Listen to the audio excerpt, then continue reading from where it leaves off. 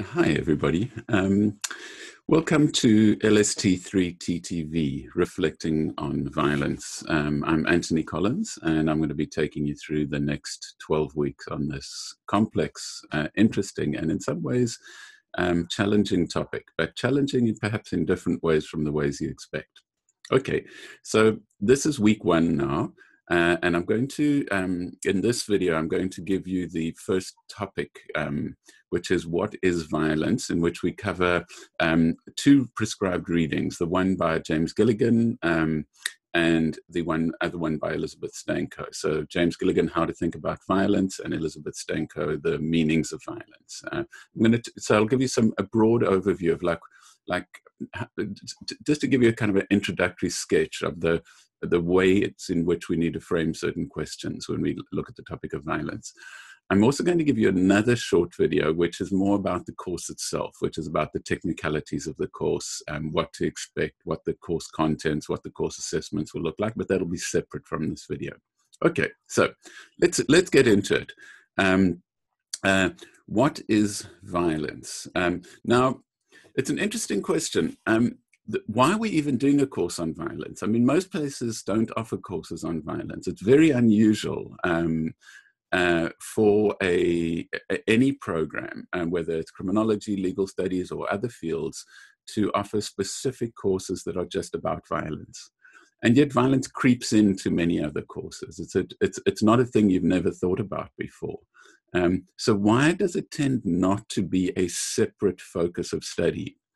Um, and one of the things that makes this question even more interesting to me is the question of, well, one of the things about violence is that people worry about it. Um, the, the kinds of things that people worry about, they, they, they, they worry about being victims of certain kinds of violence. It's a, it's, it's a thing that, that, um, that changes the way people think about the world. They'll be like, oh, I don't want to watch that movie. It's too violent. It'll be too upsetting for me. Or, or um, they I won't travel to that country because um, there, there's a lot of violent crime there. Or um, I don't want to walk by myself in that particular place at night because um, it could be dangerous. So in this way, violence kind of pervades our lives. Um, it's a it, it, it, it's a topic that informs um, what we do, it informs decisions we make. But it does more than that. It's not just that we that we think about the risks to ourselves. It does a whole lot of other things, and it changes the way we think about other people, about groups of people, about places, um, about um, ourselves. Um, and I want us to find a way of exploring all of that but also to to find a way of saying, well, what is violence even, um, and and that will then lead us to a set of other questions. Well, well, what are the underlying causes? How can we prevent it? Um, but before we even get to that, this strange question, what is violence? Which of course you already know the answer to, but bear with me. Let's think about it some more. Um, okay, so the, one of the first points I want to make is that we don't just think about violence on its own. We think about violence um, in terms of um, it shaping our worlds in exactly the way that we we talk to we the, exactly the way that I've already talked about. Um, that sense of like, where am I going to go? What am I going to do? Who am I going to trust? What am I going to worry about? What precautionary steps am I going to take? What what am I going to? What movies am I going to watch? All of those um, that we've already indicated. Um, and one of the things that it's worth doing is stopping at that point and saying, okay, so all of these things are sort of going on uh, in the background, right? But where are those ideas coming from? Where are our ideas that we already have about violence coming from? Um, and that really is a, is a much deeper question than it might at first seem. Um, certainly, one of the places it's coming from, and you'll be familiar with this idea already, is from the news media. The news media loves reporting on violence more than any other topic. Um, um, media analysts have, have shown that that that that violent crime is the most over-reported topic in in the entire field of news media. Um, that means that the, the extent to which it's reported in relation to the extent to which it's actually happening in, in out there in the world. Okay. Um, but that's not the only place. There are other places we can get um, ideas about violence. Some of them are very informal. Some of them are kind of everyday conversation. We'll be chatting to a friend about something, or our, our parents will have will have told us certain things like, "Oh, don't take candy from strangers." You know, like oh, that, that that's a story about violence. That's a story about if you did that, someone could try and hurt you. Um, so it's everywhere. It's in those little pieces of everyday life. Um, but it's also in a formal body of academic research across many disciplines, like, like, like literally every discipline in the social sciences has got a, a body of research about, about violence. Um, um, it's, a, it's, a, it's a big and diverse topic. So we've got kind of news media doing its thing. We've got the kind of everyday life, like um, uh, everyday conversations, um, that blurring the sort of gap between media and everyday life and social media is like what is social media saying about violence? And then we've got these kind of formal academic research traditions. And i want us to sort of look at these in, in uh, contrast and comparison. I don't just want to say here's what we know in the academic research. This is what we know about the, the, the nature of violence the prevalence of violence the causes of violence I want us to look at all these things because most of our information doesn't come from that academic place. So I want to know where it comes from and, and what we do with it. Um, okay, so let's talk about the, the news media for a moment.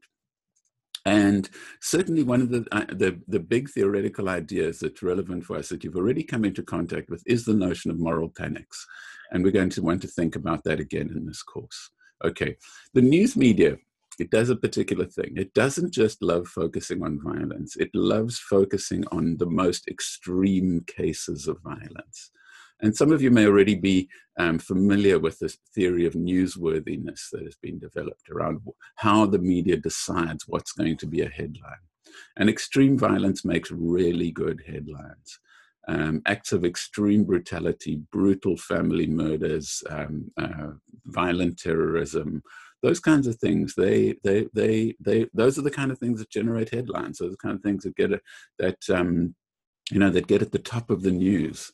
Um, and that does a particular thing because because we're being exposed to news even if you don't you know actually watch the news on tv or read the newspapers you're being you're being exposed to the news all the time it's it's shaping your social media interactions, shaping the kind of things that people um, sort of chat informally to each other about. Um, and the focus of the news on extreme cases of violence um, creates a kind of a sense that that is what's really going on in the world, that the world is really full of kind of crazed terrorists or or um, psychopathic serial killers. Um, and we need to ask the question: Well, is it really? Um, how, how, how many homicides are actually caused by serial killers? How many, how many deaths um, are caused by, by terrorists? Um, we need to ask these questions uh, because these are answerable questions. But it's, but it's interesting. And what I, want, what I want you to start noticing is how certain accounts of violence, certain representations of, of violence make you feel certain kind of anxiety and to start noticing that in yourself, noticing what it is you worry about. Um, that's a critical issue in this course. Um, and one of the interesting things I want to say is, okay, we don't just want to know what you worry about. We want to know what you don't worry about. What kinds of violence don't you worry about? What kinds of violence you just like, well, I never gave a thought to that. Doesn't affect what I do, what I think, what I feel. And that's as interesting um, the the way in which certain risks kind of disappear. Um, they become things we don't think about. Because they become things we don't think about, they become things we don't deal with. Um, versus the kind of things that we freak out about and and and and feel a lot of anxiety um, uh, in various contexts. Um, so I want you to be watching that. I want you to be seeing like, well, what is the media doing? And part of this course is actually paying attention to the media. That's that's like a literal um, course requirement. In as much as another course might give you your set of required readings, one of your required activities for this course is that you need to follow the news media's um, accounts of of of violence. um, because we're going to talk about that all the time, and you need to know what I'm referring to. Okay, now um, one of the the the the um, the ways of understanding the news media specifically is by looking at what the news media is trying to do. Um, because there's something it's not trying to do. And this, and this is also a thing that social media is not trying to do. Social media and the news media are not trying to give you a neutral, um, uh, accurate version of what the world is like. And you should never sort of fall into the assumption that that's that that, that they are that they are neutral, trustworthy, reliable sources of information. Um, different media um, are are trustworthy in different ways. Certainly, reputable news media try to verify their information. They try to verify their stories. Uh, social media is just anything goes. Any anyone can make up any bullshit and turn it into like a posting, a meme, some nonsense, uh, some claim uh, uh, for scientific finding when no such scientific finding exists. I mean, the, the, the defining feature of social media is fake news and the extent to which um, that has become a very, very powerful way in which a kind of sense of reality is produced by, for people. But one of the sort of traditional um, slogans in newsrooms, and journalists were were sent out to get stories, and editors were deciding what they're going to prioritize as stories. Is, is there's this interesting journalistic phrase: "If it bleeds, it leads." And this is simply saying, like, if there is, if there's violence, if there are, if they like, especially visual images or or, or, or gory accounts of of of, of, of, of people being injured and killed, then those are going to be the lead stories in the newspapers. And of course, those of you who've done your um, course in victimology will know that um, one of the things going on there is that it's, it's not just that the media go after these kind of extreme cases of violence, these sort of headline grabbing, shocking accounts, is that they really love stories with innocent victims they really love stories with um, children, with uh, vulnerable people, um, uh, people who who are who are innocent, people who are just doing normal everyday things like sitting in their home watching TV or going to do their shopping, and then get and then be, suddenly become victims of terrible violence. Um, and um, you'll be aware of that um, that theory of the ideal victim if you've studied victimology. If not, it's uh, something definitely worth exploring. Um, so the media, the media is not about trying to understand violence. The media is about selling a product. They they are in the, they are in the business of selling media. They're in the business of getting your clicks, of making you change channels on TV, of selling their newspapers and magazines. Um, and that's what drives their versions of of violence. And and and and because of that that shapes what violence they choose to to focus on and how they tell those stories okay? Unfortunately what ends up happening is that those are the stories that surround us and those are the stories that that feel real to us. They feel like oh my god this is what's happening in the world. Uh, people are doing this crazy stuff. Um, uh, and in fact it it isn't necessarily so. There can be a massive gap not that the facts are not uh, are, are, are not accurate. Not like oh you know this father didn't come home from work and kill his wife and three children. It's not that that didn't happen. It's why that story and why is that story told in that way? Why is the story told in terms of certain things? Oh he had a he had a history of mental illness or oh his neighbors report that he was just a lovely friendly person who always um, greeted them and was always helpful. There's, there's always a way of telling the story, okay? At the same time, there's also always a story that isn't told. You know, if the story of the of the the husband who comes home and kills his wife and children grabs the headlines, then the story of the husband next door who is verbally abusive to his wife continually undermines her self worth, makes her depressed and feel helpless, and occasionally um, uh, slaps her in the face. That story doesn't get into the media, but that is a story of violence. Um, and perhaps it's a, in some ways a more important story of violence because it's a much, much more common one. So looking at the media, you're going to get that one extreme story and you and and the other story is going to be hidden from you. We need to think about this. We need to think about how this shapes our understanding of the world, our understanding of each other, and our understanding of, of the problem of violence. The other thing the media does is it goes, it, it trends like something becomes a trending topic in the media.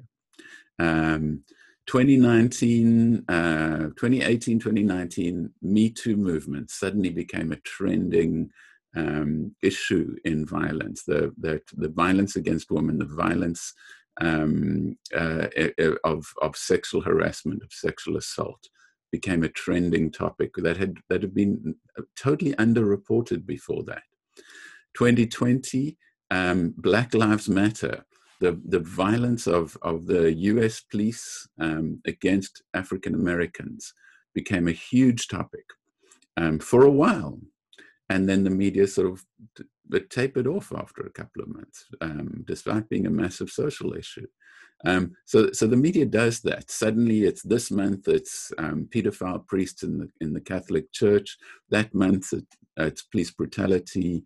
Then it's family violence. The media, the media kind of gets the idea like, oh, th- this is a topic that's that's getting a lot of a lot of hits, um, and so and and so we get a sense of that, like that the world's kind of suddenly changing. Like, like oh my god american police are, are, are just killing people. Well they've always been killing people. There's nothing new about that. They've been doing that for 100 years. Um, it's just that the media decided to trend on that topic this um, past year. Um, so we need to think about that. Um, and especially we need to think about how that sort of then interlinks with social media and social media where there's even less regulation at least the media most sort of traditional media outlets have a reputation to manage. If they're caught just lying again and again, people will be like, well, you can't trust that. But social media, anyone can post anything and make any claim about it, make it look like it's based on evidence when it's just rubbish. Um, and so there's just no control over the truthfulness of claims um, on most social media. Um, certainly, you know, there are, you know, Facebook occasionally fact checks things. There are websites like Snopes that you can go to and say, is this story really true? Uh, and and and someone will have done detailed research to try and verify. But but even if you can check the specific claims or story, you can't check the context that easily. You can't say, well, well, why is the media telling me this story, and why is it not telling me other stories? Um, and that's the um, important thing that we need to understand. The other thing is, not all of it is from the news. A lot of how we think um, about violence has actually come from things that we know are fictionalized. They come from movies, uh, Netflix, you know, t- TV series. It's a common theme. Uh, two most common themes in any TV series is romance and violence. It's either a love story or it's an action story. Um, action stories generally, actually, that's a that's a code word for violence, right? Um, it's a story, um, and and and and they tell these stories in a particular way. So you'll have a story, um, and even these sort of these quasi documentary-ish things, um, you know, Criminal Minds type um, programs. Then and and and and certainly the very influential programs like CSI, which uh, which represent crime and criminology and crime investigations in certain ways that don't necessarily have anything to do with um, reality. Um, and when you look at these these stories, what's interesting about them is they explain violence in certain ways. What we've already talked about um, now, we've talked about that they focus on certain types of violence. Oh, they'll focus on the family murder, not on the on the the the the the the, the verbal abuse in the family, for instance. But they'll also theorize that violence, and not in the sense of saying, "Oh, you know, uh, James Gilligan's book, um, reflecting on a national epidemic, claims this about violence. They never do it that way. The, the theory of violence is always in the story. It's like this serial killer um, and we see what he's doing and we and then we start seeing his flashbacks and the flashbacks take us back to his childhood. And we see that in his childhood he was treated abusively by his parents. So it's, and it's all in that story. But in that story is a theory. There is a theory about how a person becomes violent. There's a theory of psychological trauma um, changing someone's capacity for empathy, filling them with uh, unconscious rage. I mean, it's a very complicated uh, psychological theory that that psychological researchers will research and debate uh, the, the, the merits and demerits of that story, but but but it's not told to you as such. It's, they never say, "Oh, here's a theory." They just say, "Here's a story," and as you're watching that story, a theory is being built in your head, like, "Oh, why why do people become terrorists?" Why do people become radicalized? Who, who, who are terrorists? People of a particular religion. Is that who, is that who becomes terrorists? Um, anarchists? Um, white supremacists? Who, who are these terrorists? Um, how did they become terrorists? Uh, is it just that people from that social group are kind of crazy and don't have compassion and, and are impulsively violent, or is it something else? Um, so, so all of these ideas are being thrown around all the time. Um, and that's the interesting thing is that is that we are we are being we, we're not only being given accounts of what violence is happening, we are also all the time being given these hidden accounts of why it is happening. And that's really interesting. We're always being told, but not explicitly, we're being told in a kind of hidden way oh, this is why. This is why I became a serial killer. This is why she became a terrorist. Um, all of those things um, are, those messages are coming through, but they're not being acknowledged. We're just sort of getting them in a covert, intuitive way, but they're shaping how we think. Um, and that's really, really significant. Okay, now I want to have a look at this, the first reading for the course, which is called How to Think About Violence um, from a book by James Gilligan called Violence Reflections on a National Epidemic. I highly recommend this book or any other of James Gilligan's writing. Okay, Gilligan is a, is a, a, a US American psychiatrist, and he spent most of his life working in the prison system there. So he, so his work was, is with the most violent offenders, like people who are, you know, not just people who'd like committed a mugging, people who committed very serious multiple homicides, serial rape, um, people who are, are, spending a lot of time in a in in the in the United States prison system. And he spent his time trying to understand how they'd gotten there and what was going on with them. And specifically, he was working mainly with men and that's a question we'll deal with in later weeks. What, what's the connection between men and violence? So, so Gilligan, Gilligan's looking at these, looking at these men and trying to understand why did they end up uh, ruining their lives and ruining other people's lives? Why did they end up committing these violent offenses? And the other question he's really interested in is, and why do they keep doing it? Like once they're in jail, they carry on being violent. They assault other prisoners. They assault the guards. They end up being put in solitary confinement, having their privileges taken away, not being given parole. They just keep being violent and self-destructive and and it and no, it doesn't help anyone. It certainly doesn't help them. So what's going on? Anyway, so the, this whole book of his, Violence Reflections on a National Epidemic, kind of about that. It's kind of about about how people become very repetitively violent. It's also a book about men, about masculinities, about what's really going on inside kind of men that that that have such difficulty managing certain things. Um, okay, but in this particular chapter, he's giving us just a very broad overview uh, he's framing a problem about violence.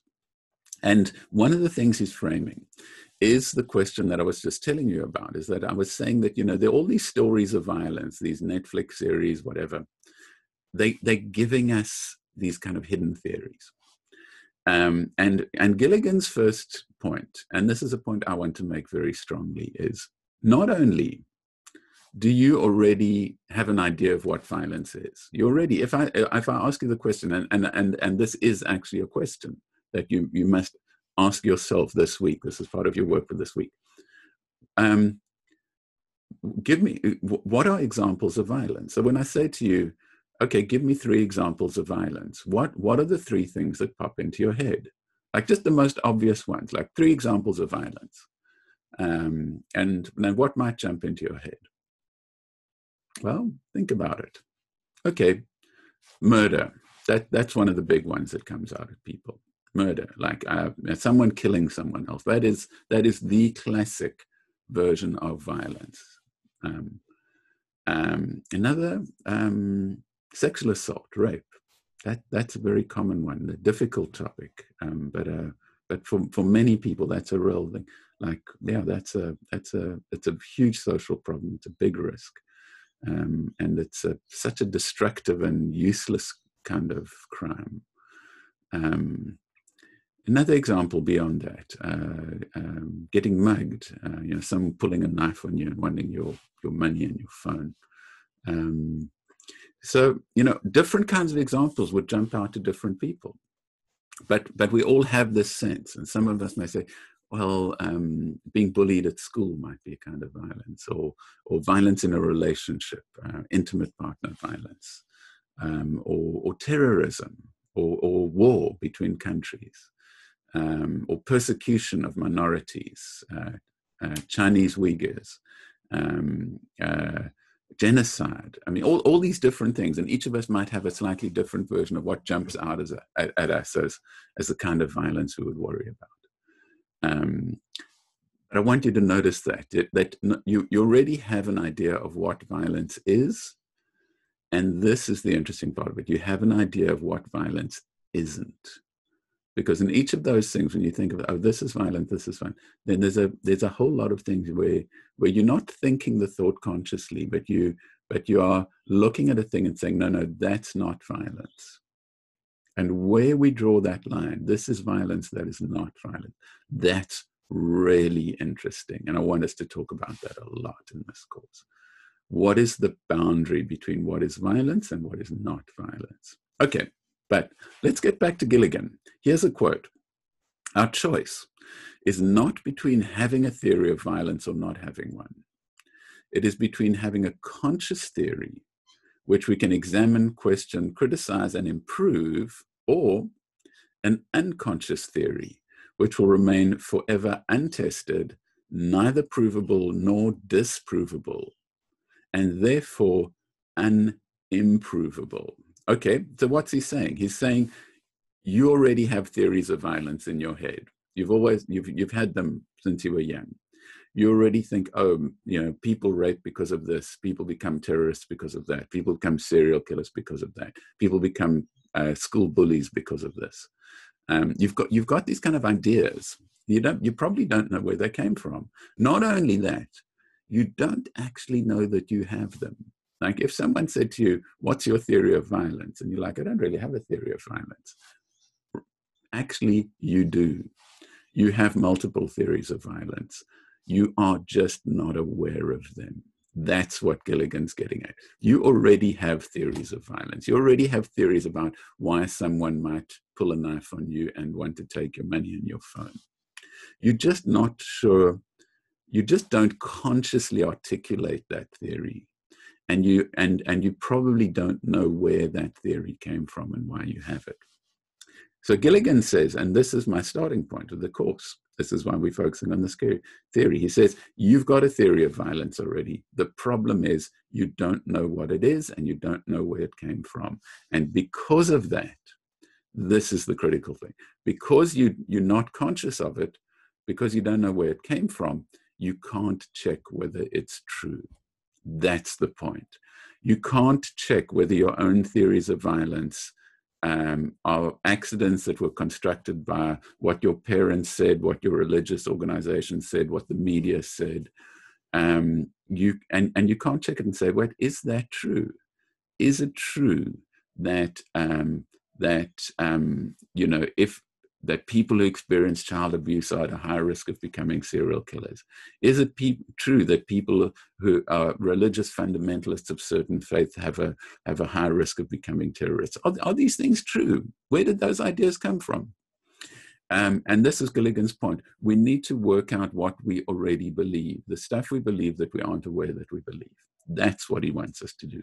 And that's what I want to do in this course first. I first want to say, what is it you already think? What is it you already know? Where did those ideas come from? Um, and I don't just want to run to the scientific readings and say, okay, this is what researchers actually know. This is what they've shown to be true. Yeah, we can do that, but that's that. Let's do before we do that. We've got to do other things. We've got to work out how our emotions became linked to certain ideas and why people sort of are pulled to certain explanations that make a kind of sense before we just talk about what researchers believe and what they don't believe. Because researchers' ideas also come from somewhere researchers don't just kind of exist in a vacuum, they exist in a social world where the ideas are, are, are also informed by common sense, uh, cultural values, media, things like that.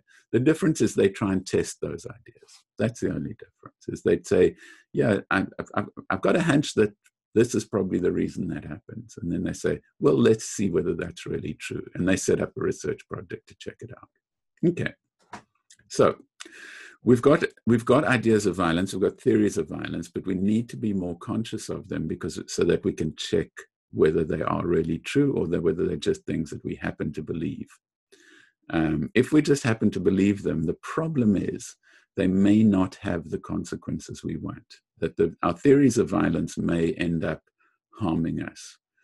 Um, if our theory of violence is that what we need to, to do about the problem of homicide is bring back the death penalty, um, if we believe that and it's and and we create sort of political pressure and bring back the death penalty, and it turns out that's not true, that in fact the death penalty may have no impact or in fact increase homicide rate, we've actually done ourselves a, a harm, a disservice. Um, if we, you know, if we believe that um, the, the way to prevent your children being sexually assaulted is to not let them go to public parks, but to let them uh, be in the care of extended family members, members of your faith based organization. Um, and that turns out not to be true. And it turns out that, in fact, youth organizations, formal, respected youth organizations, tend to be infiltrated by pedophiles. Um, then you've made a mistake and you've put your family at risk. That's why we need to know these things. We need to know what the consequences of our beliefs are are, are our beliefs actually harming each other and harming ourselves, even though the whole point of them is to try and protect ourselves and to protect the people we care about? Okay, so, th- so this is a big question. Okay, the next thing Gilligan talks about is he says one of the most traditional ways of talking about violence is in kind of moral terms. That what we know about hurting people is bad. That's it. That that's that that's the most like universal traditional claim about violence. Hurting people is bad.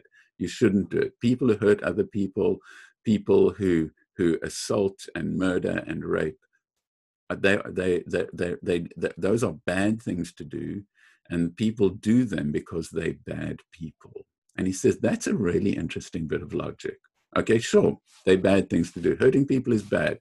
Great, let's all get on board. I think that's a fairly reasonable starting point. But this kind of traditional idea, which is really a kind of theological idea, that that that that people do bad stuff because they're bad people. Um, and when we stop and look at that, it's like, yeah, what do you mean? Um, how do you know that someone's bad? Oh, because they did bad stuff. Okay, but you're just saying that they're a person who did bad stuff. There's, the, you're not saying anything about the circumstances, the motivations, the the, the causes, the context. You're not you, you you're just really restating your point. To say that someone is bad because they did bad stuff, you might as well just say they did bad stuff. You're not you're not adding anything explanatory or insightful that enables you to do something. And the interesting thing with that line of thought is, is, is the, the, the, the, the conclusion that follows from that is, um, therefore they should be punished. Um, they did bad stuff, they're a bad person, we should punish them. And this is kind of this is a deep, deep kind of common sense, um, very traditional kind of way of thinking about violence. Okay, um, someone is bad, they need to be punished. That's what our sense of justice is all about. And lo and behold, that's kind of what our entire criminal justice system is about. Is about you know catching baddies and punishing them, making them suffer for having made other people suffer. But is that really how violence works? Um, does punishing people really stop them from being violent? Does it stop other people from being violent? Does it make people say, "Oh, I better not, I better not murder this person because this other guy did, and he's in jail now"? Is is it is is is is that kind of deterrence effective? Is our need for justice saying like that that person that was a that was a awful, cruel, ghastly thing to do, and that person should suffer for having done that. That that that idea of of of kind of vengeance, of of balancing, balancing the the horrible thing one person did by doing a horrible thing back to them. Is that an effective way of, of, of managing violence in society? These are real questions. We need to answer them. Um, okay, so Gilligan says one of our theories we've got that kind of that theological theory that uh, bad people do bad things and they need to be punished. And he's like well that's just bullshit. Um, firstly because it's incoherent. It doesn't actually make any claim that is meaningful. Secondly it doesn't work.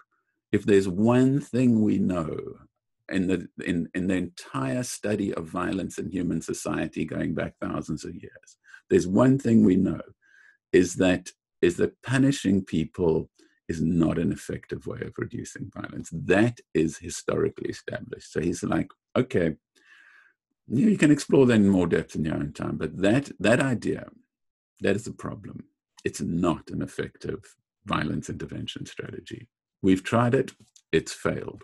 Okay, so let's look a little bit deeper. He says, there's another really interesting theory that's getting knocked around here rational self-interest theory is what he calls it okay? And this is essentially the idea that people people are essentially rational. They have goals they have desires and they work out how to achieve those goals okay?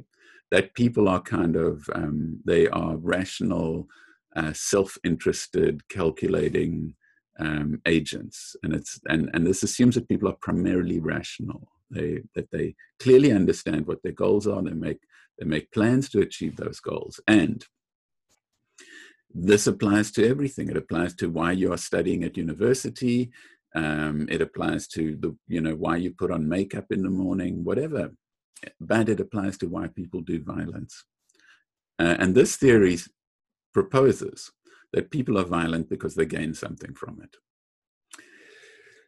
And so that's it. You know, the guy pulls a knife on you he wants your money and your phone. Um, that's why he's violent.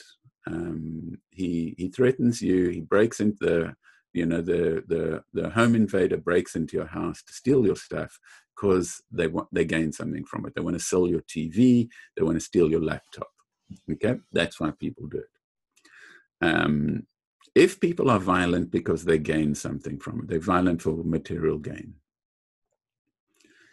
then the intervention logically is very simple. We bring in a punishment that outweighs the gain. So we say, yeah, sure, you can get like 200 bucks selling that guy's phone, but we're going to put you in jail for seven years.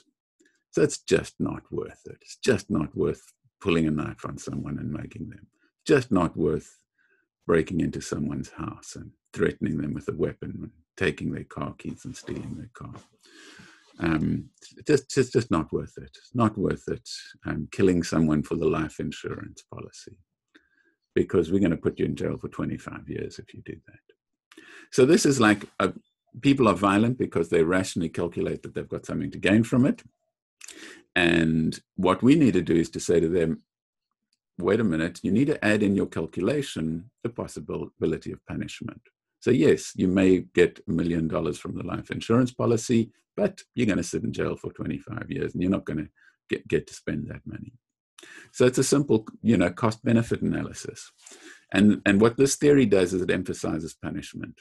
And our, and, and, and our entire justice system really emphasizes punishment. Um, you know, the police, the courts, the prisons. This is about punishing people for doing bad things. About other things too, but one of the things it's about is about punishing people for doing bad stuff. But if we if we accept that system and we say, okay, what we're going to do, you you violent because of, uh, that you're trying to achieve a goal, we're going to give you a counter um, uh, consequence that outweighs the positive. We're going to give you a negative consequence that outweighs the positive consequence. Therefore, people are going to stop being violent. Um, and this becomes what we do. So, a country like Australia spends $16 billion a year on uh, police courts and prisons. I mean, 16 billion. That is that is a that is a big, big part of the national budget. Okay, um, on this system that is really kind of built on this disincentive model. It's built on a on largely, not entirely, but largely on a punishment model. And the public support it largely because they believe that punishment model. Okay. So all this money is spent on this model that's kind of built sort of unconsciously on the rational self interest, kind of deterrence, punishment outweighing the gain model. And what that, that that's not the issue. The issue is what is money then not being spent on? What is $16 billion not being spent on? And what it's not being spent on, and it's not that no money is being spent on, that some money is, but not that money. It's not being spent on understanding the underlying causes of those acts of violence. It's not spent on understanding the psychological, the social, the economic um, causes of those problems. And it's not being spent on prevention. That the more we think about punishment, the less we think about prevention. And this is the problem for Gilligan. This is why he says we've really gone down the wrong road with violence. Our criminal justice, rational self interest, punitive based model is, is, a, is, a, is a disaster because what it's done is it's made it's it's put all of our money all of our energy all of our training as criminologists as lawyers as uh, all those that entire set of, of of skills into a system based on on on punishment and not into a system based on prevention, not into a system that looks at why did this thing happen? Really, why did it happen? Not like, oh, the person had something to gain, like deep, in kind of a deep analysis, why did it happen? And what could we do to change those underlying conditions? Um, and that is what he wants us to think about. Okay, I'm going to stop there um, because watching these videos can get quite long. I have not yet finished the, the first lecture, um, but um, I'm going to I'm going to make this the end of part one, and I'm going to continue with part two then that you can watch separately.